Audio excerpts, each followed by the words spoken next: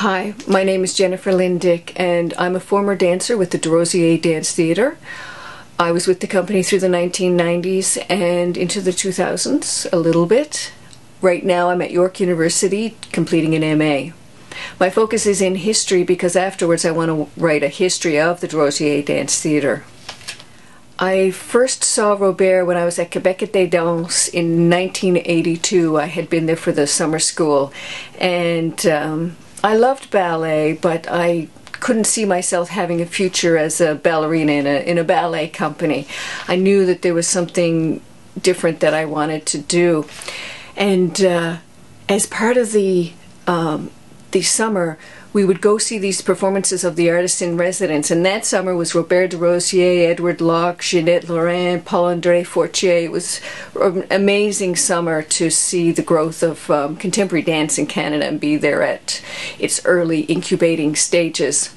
And so they would have these performances, and I remember the curtain opened up, and there was Robert with a little hat and a little accordion and a cow slung on his back, and he started to dance in a way that I had never seen before. It was clearly technical and uh, had a ballet base, but it was really acrobatic and uh, exciting, and I wanted to do that.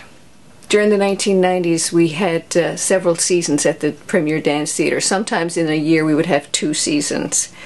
And that spoke to the kind of audience that Robert drew in.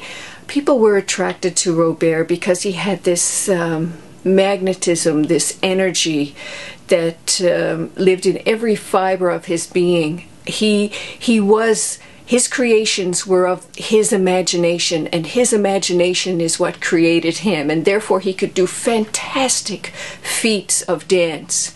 And we all wanted to do that. Um, we studied and we trained with him in order to understand what it was about his dancing that made it so special. We used a lot of effort when, for him, it wasn't uh, wasn't quite as difficult. And in in studying uh, through Laban analysis, what Robert has um, is called flow, and um, it made uh, a distinct difference in his signature of style. My focus is in the embodied archive and the relationship between the dancer and the choreographer. And I want to study what was unique about Robert and his, um, his technique, his style, his signature, that thing that made his material and his choreography uh, risky.